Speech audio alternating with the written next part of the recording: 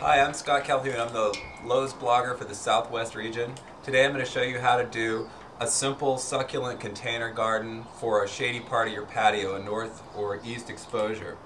So I'm going to start with a simple glazed pot and the first thing we're going to do is take a stone and use that to plug the drainage hole. Okay. Then, then we're going to take a cactus and succulent mix.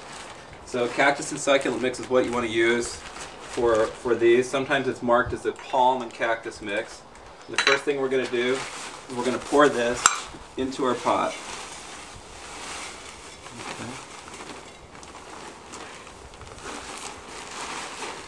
This is my dog Macy, he's helping us out. And I want to see, I want to get the biggest plant, I'm going to orient it to where the biggest plant is at the back of the pot. And I want to put this to where this big plant is here, about at the same soil level as the rim.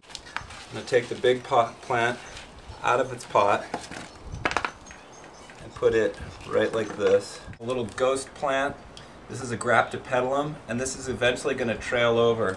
So the idea with this pot is to do these kind of subtle blues and yellows and this one has a little bit of a reddish or bronze tone to it and those are going to trail over the sides of the pot.